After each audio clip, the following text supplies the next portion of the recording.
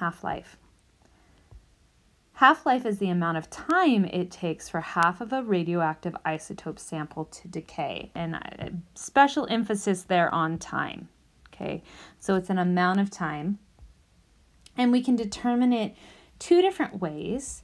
One is using graphical analysis and looking at a graph that takes a look at the data, and the other is through calculation of data. And so we're going to take a look at both of those in this video today. The first one is graphical analysis. And so in this example, we actually have carbon 14, um, and this is the percent. It's really nice if these start with a 100%, well, starts with 100%. If we have relative numbers, we can start with 100 as well, and that always makes our graphs really nice. And then along the bottom, we have time in years. Okay, so this is a running time. This is not a half-life time, so we have to determine what the half-life time is. And so if we take a look at this, if we start with 100, the amount of time it takes for half the sample to decay, that means that we would only have 50 left, would be our first half-life. And so this spot right here is going to be our first half-life. And so this is our first half-life.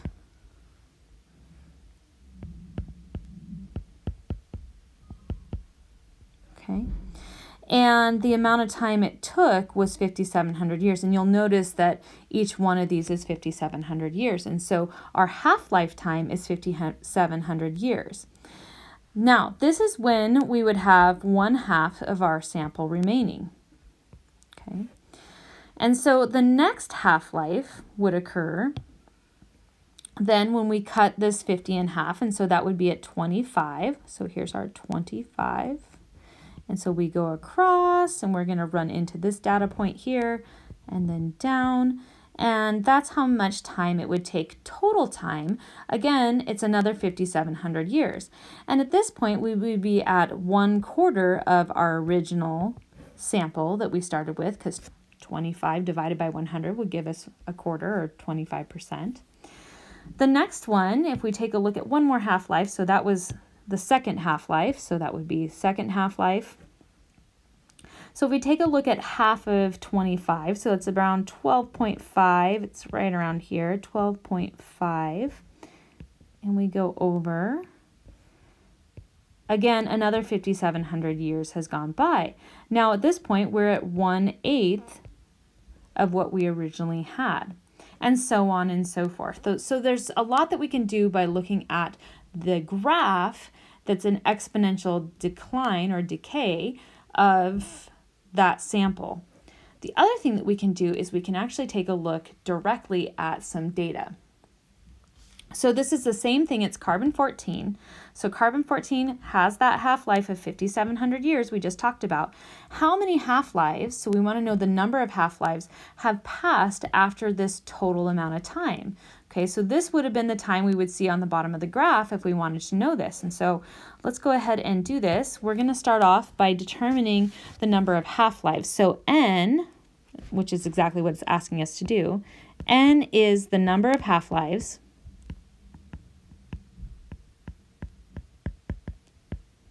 okay?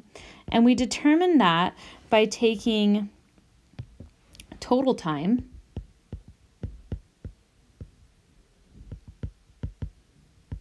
Okay, that's this number. And we're going to divide that by our half-life time.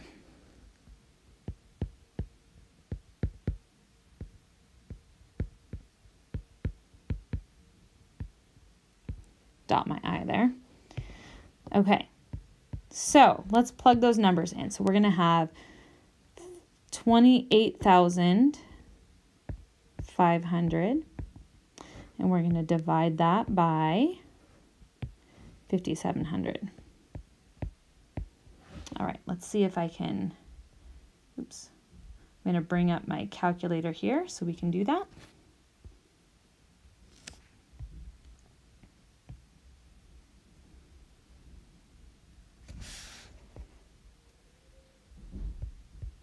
Okay, there's my numbers, sorry.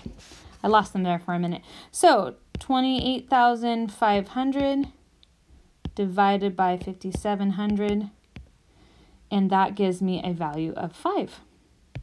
So that gives me 5, so that means 5 half-lives have passed. Most of these problems you will actually have to determine the number of half-lives first before you can do other things. And so we're going to look at that on the next example.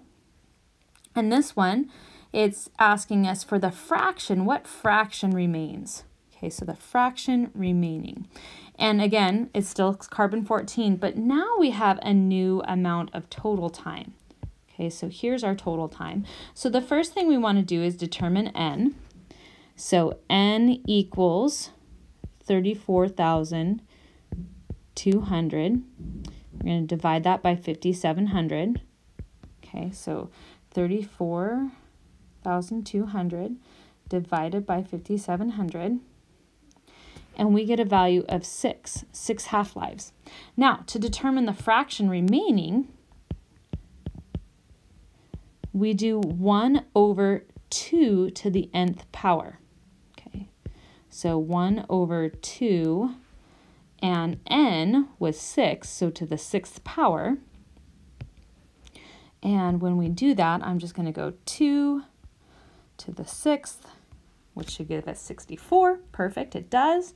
And so I'm going to keep this in the fraction um, as a fraction because it's asking for the fraction. So that's going to be oops, 1 64th. Okay, that is our fraction remaining. All right, the last type of problem that we generally tend to see with this is one where it's asking us for the amount of mass or the amount of sample that remains. And this is actually the same as the last situation where we have um, 30, 34,200 years. So we already did n equaled 6, right? We already had that from the last example. So now, in order to do the sample that remains, okay, which is an amount, so sometimes you'll see amount, sometimes you'll see mass, the sample remaining, I'm going to shorthand that, is going to be equal to the original mass. Okay, so original mass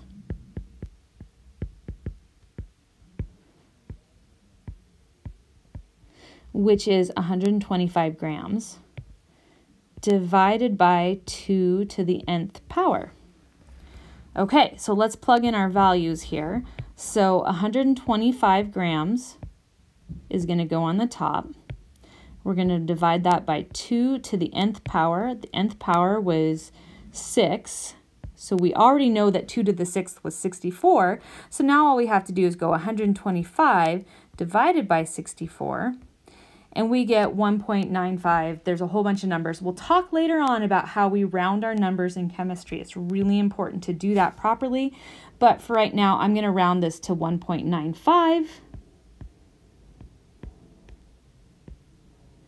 grams. And that is the amount of sample that remains of this carbon 14 um, sample after 34,200 years, which is a really long time. And that's a little bit about how we determine half-life and sample remaining